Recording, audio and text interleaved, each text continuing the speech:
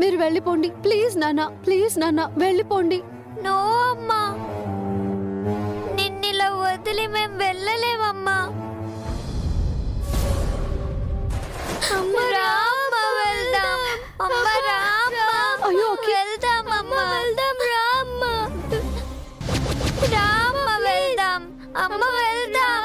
Please నా మాట వినండి. ఫ్రెండ్ ఫ్రెండ్ అమ్మకి నువ్వైనా చెప్పు ఫ్రెండ్ ఎందుకు ఇలా చేస్తుందో అడుగు ఫ్రెండ్ ప్లీజ్ ఫ్రెండ్ ఫ్రెండ్ నువ్వు అడిగితే అమ్మ చెప్తుంది. అడుగు ఫ్రెండ్ ప్లీజ్ ఫ్రెండ్ అడుగు ఫ్రెండ్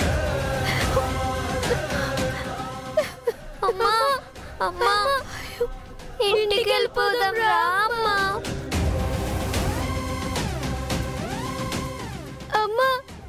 నువ్వు ఇలా ఉండద్దమ్మా. ప్లీజ్ అమ్మా. ఇంటికి వెళ్ళిపోదాం రా అమ్మా. నా మాట వినమ్మా. నేను ఇప్పుడు రాను నాన్న. అమ్మంటే మీకు నిజంగా ఇష్టం ఉంటే దయచేసి ఇంటికి వెళ్ళిపోండి. ప్లీజ్ పిల్లలు ప్లీజ్ రా. ఇంటికి వెళ్ళిపోండి రా నువ్వు మాతో పాటు రా అమ్మా. ప్లీజ్ అమ్మా. వెళ్ళిపోదాం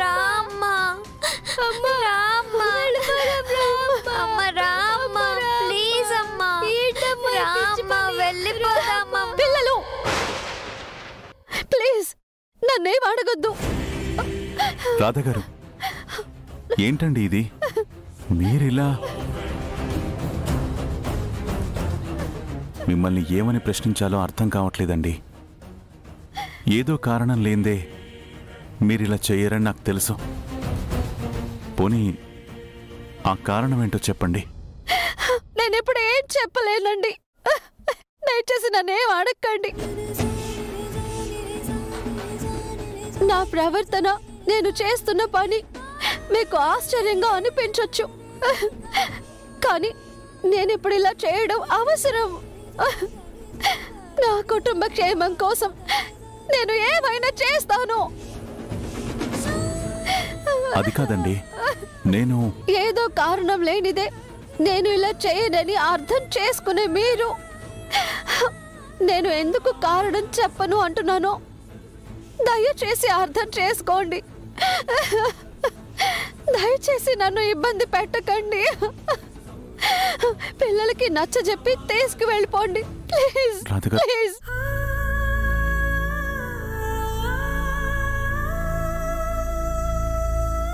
దయచేసి నన్ను ఇబ్బంది పెట్టకండి పిల్లలు ప్లీజ్. లేదమ్మా మేము వెళ్ళాం. మేము ఇలా చెయ్యనివ్వం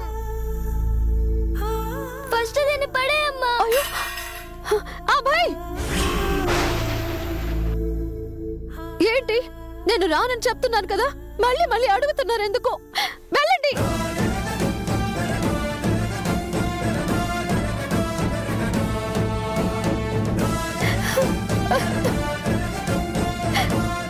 ప్లీజ్. పిల్లల్ని ఇక్కడి నుంచి తీసుకువెళ్ళిపోండి. నా సంకల్పానికి సహకారం చేయండి ప్లీజ్.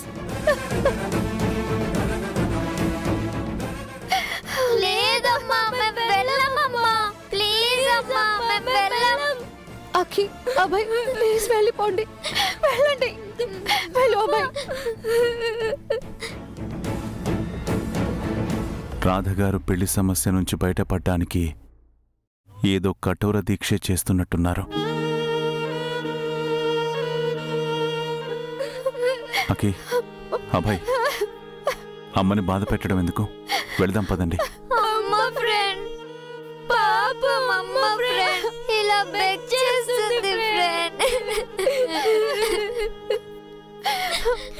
తనేం చేసినా మీ మంచి కోసమే చేస్తారు. ఇక్కడే ఉండి మీ అమ్మని బాధ పెట్టడం మంచిది కాదు. వెళదాం పదండి.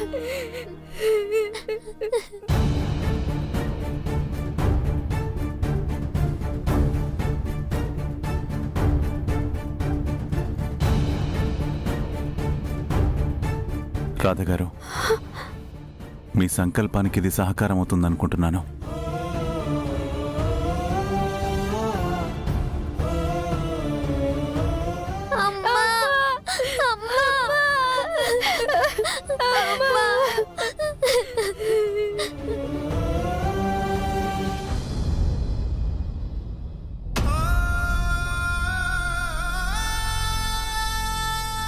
అమ్మా.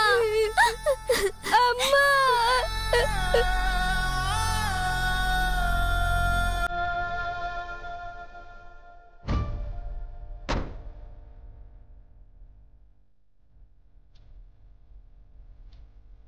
ఒక తల్లి పిల్లల కోసం ఎంతటి త్యాగమైనా చేస్తుందని మీరు నిరూపించారు రాధగారు. మీ కష్టం తీర్చడానికైనా మీ భర్తని వెతికి తీసుకొస్తాను. ఏది ఏమైనా సరే ఈ దీక్ష పూర్తి చేయాలి. అంతే. అంతే. ధర్మం చేయండి అయ్యా. ప్లీజ్. ధర్మం చేయండి అయ్యా.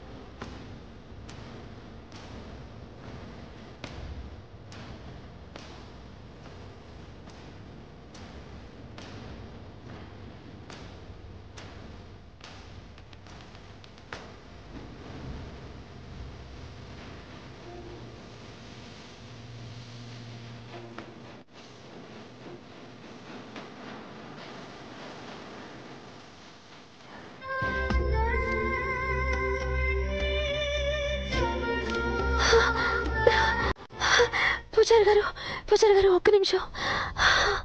వచ్చావా అమ్మా? నువ్వు ఇంకా రాకపోయేసరికి ఈ రోజు ఇంకా దీక్ష పూర్తి కాలేదేమో అనుకున్నానమ్మా.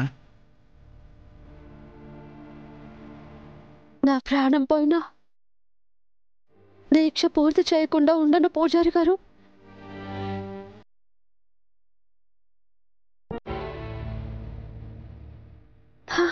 నేను ఈరోజు దీక్ష పూర్తి చేశాను పూజారి గారు. హుండీలో వెయ్యమ్మా.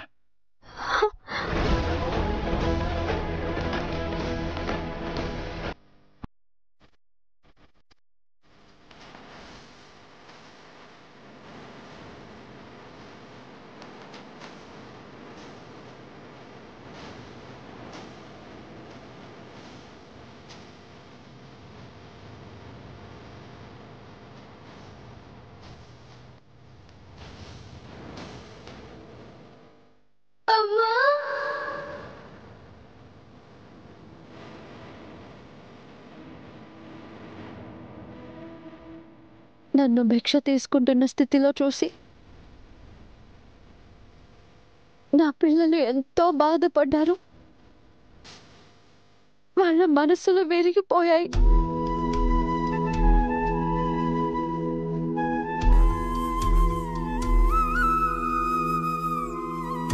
అయినా కూడా ఏ కష్టంలో కూడా నా పిల్లలు నాకు తోడుగా ఉండాలనుకున్నారే తప్ప నన్ను అడ్డుకోలేదు.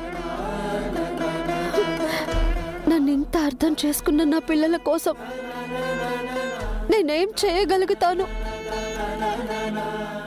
ఈ దీక్షతో అయినా ఆర్య సార్కి పిల్లలకి అంత మంచి జరగాలి. అంత మంచి జరగాలి.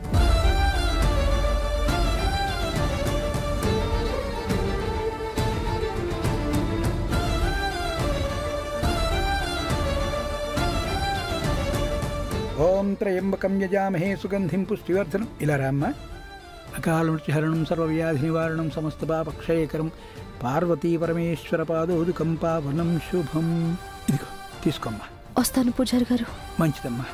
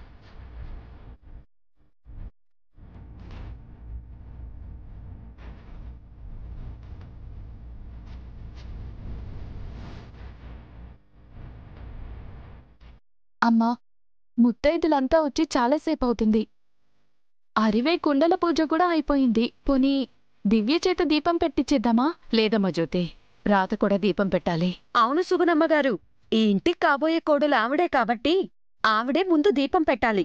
అమ్మా ఇంకా ఎంతసేపు వెయిట్ చేయాలమ్మా? మీ బావగారు వెళ్ళారు కదమ్మా తీసుకొచ్చేస్తారులే కాస్త ఓపిక పట్టు. టైంకి ఇంటికి రాకుండా? ఆవిడ ఏం రాజకార్యాలు వెలగబెడుతుందో ఏంటో? అయ్యో ఏంటి ఆ మాటలు? దయచేసి అలా మాట్లాడకు. నీకేంటక్క? నువ్వెన్నైనా చెప్తావు. ఇక్కడ ప్రాబ్లం నాది కదా. ఎందుకే నోరు పారేసుకుంటావు?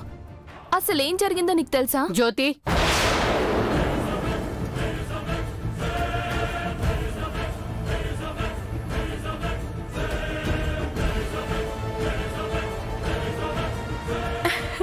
అదిగో బాగా వచ్చేస్తున్నారు.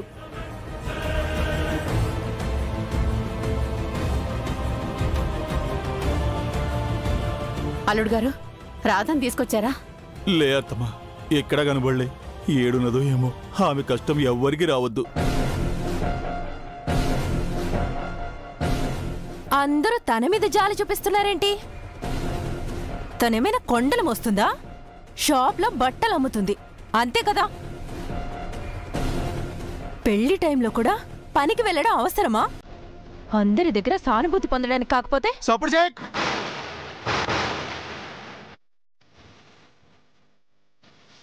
ఎవరి కష్టం ఆలికేరికవుతుంది. నోటికొచ్చినట్టు వాక్కు. తన వల్ల నా ప్రోగ్రామ్స్ అప్సెట్ అవుతుంటే నా కోపం రాదా? హరీష్ డిన్నర్కి వెళ్దామని ఫోన్ల మీద ఫోన్లు చేస్తున్నాడు. ఇదిగో ఇప్పుడు కూడా ఫోన్ చేస్తున్నాడు. హరీష్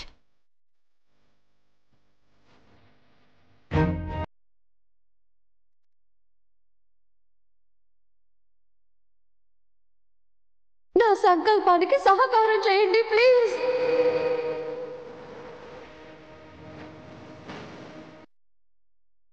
అబ్బాయి అకి అమ్మ చేసినా మీ మంచి కోసమే చేస్తుంది. అది మీరు అర్థం చేసుకోవాలి. తను వచ్చిన తర్వాత మీరు క్వశ్చన్స్ అడిగి ఇబ్బంది పెట్టకూడదు. సరేనా? మీరు కూడా బాధపడకండి. మీరు హ్యాపీగా ఉండే డేస్ తప్పకుండా వస్తాయి. ట్రస్ట్ మీ ఇంట్లో వాళ్ళతో ఈ విషయం గురించి ఏమీ మాట్లాడొద్దు. సరేనా? అలాగే ఫ్రెండ్ పదండి. చెప్తే అర్థం చేసుకో హరీష్. ఇక్కడ ఇంకా లేట్ అయ్యేలా ఉంది. నువ్వు ఆంటీ అంకుల్ వెళ్ళండి. నా బతుక్కి డిన్నర్కి కూడానా?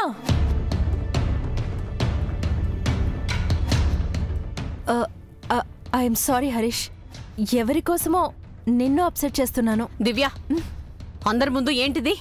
ఇంకేం చేయను? అసలు ఇంట్లో నా పెళ్ళి జరుగుతుందన్న ఫీలే లేదు. మెయిన్గా జరగాల్సిన నా పెళ్ళేమో సైడ్ ట్రాక్ అయింది. అక్కర్లేని వాళ్ళ పెళ్ళేమో హాట్ టాపిక్ అయింది.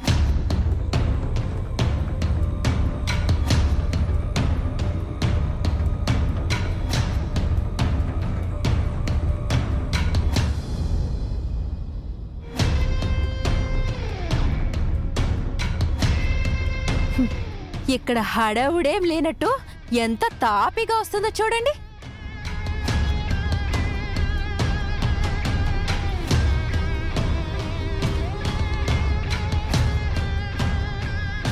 హ, అరే ఇంతవరకు ఏడబోయినావమ్మా ఈడంతా నీకోసం వెయిటింగు. ఏమైంది? ఏమైందా? నా పెళ్ళికి నీ పెళ్ళి పెద్ద అడ్డైంది. ఇంట్లో ఇవాళ కార్యక్రమం ఉందని తెలుసు కదా? ఆలస్యంగా రావడంలో మీ ఉద్దేశం ఏంటి?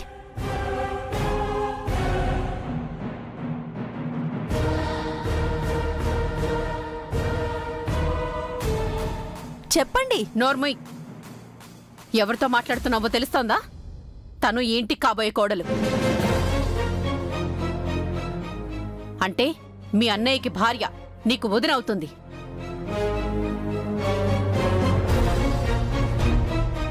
వదినంటే తల్లితో సమానం. తల్లితో ఇలాగేనా మాట్లాడేది? Aunty please. తప్పు నాదే. తన కోపంలో కూడా అర్థం ఉంది. తననేమనకండి ప్లీజ్. ఇప్పుడే కంటి తుడుపు మాటలు ఎందుకులే? చి ఆపవే.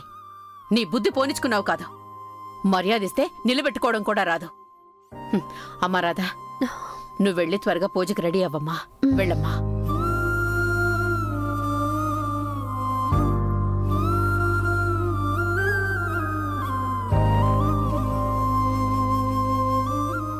దివ్య నీకు మళ్ళీ మళ్ళీ చెప్తున్నాను. రాధతో అమర్యాదగా ప్రవర్తించకు. పెళ్ళే అత్తవారింటికి వెళ్ళబోతున్నావు. కాస్త సహనం అలవాటు చేసుకో. ఇగో అత్తమా గీ పిల్లకి ఎంత చెప్పినా సేవుటోని సేవులా శంఖ ముదినట్టే ఇడిసేయ్ ఇగో దివ్య ఒకరిని మాటనుడు తేలికే గాని వెనక్కి తీసుకునుడే కష్టం. అది అర్థం చేసుకో.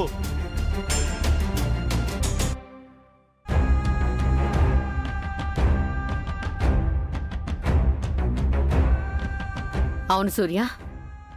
శుభలేఖల కోసమని వెళ్ళావు. ఇంత ఆలస్యంగా వచ్చావేంటి? యాక్చువల్గా ఆ పని మీదే వెళ్ళానమ్మా. మధ్యలో కాస్త ఆలస్యమైంది.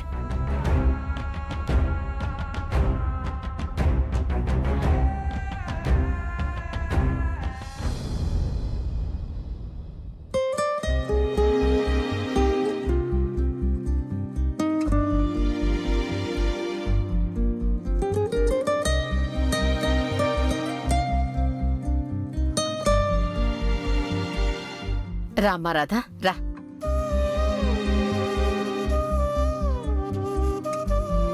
ముందు నీ చేత్తో దీపం వెలిగించు.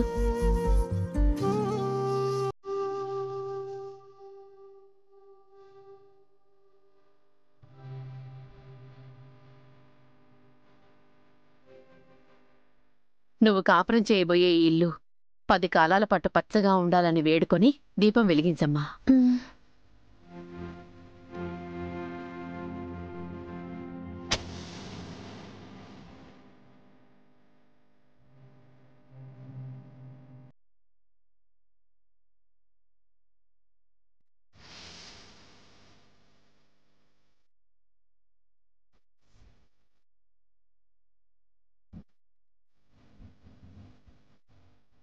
దివ్య నువ్వు కూడా దీపం వెలిగించు. రా.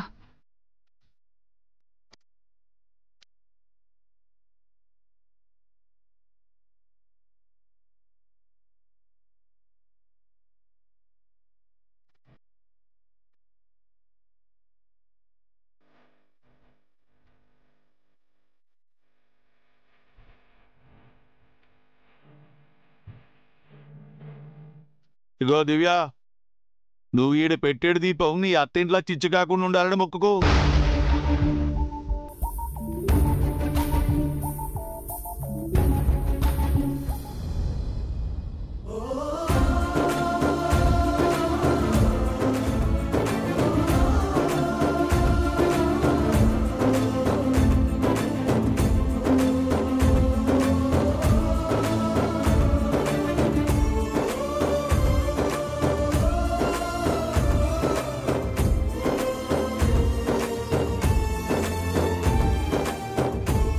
అమ్మా రాధా ఇంతటితో ఈ కార్యక్రమం అయిపోయిందమ్మా.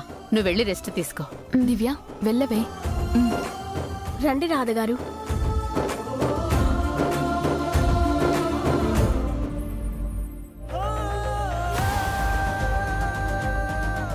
ఓకే అబ్బాయి మీరు కూడా వెళ్ళండి. వెళ్ళండి.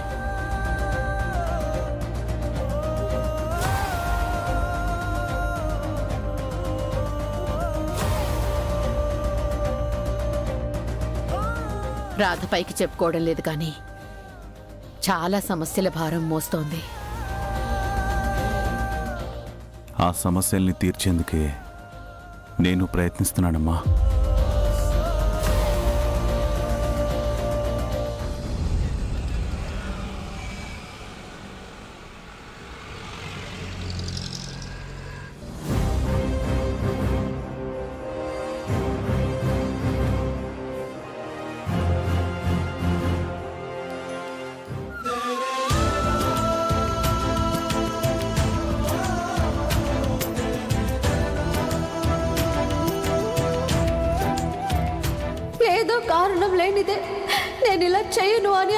చేసుకున్న మీరు? నేను ఎందుకు కారణం చెప్పను అంటున్నాను? దయచేసి అర్థం చేసుకోండి. నా సంకల్పానికి సహకారం చేయండి ప్లీజ్.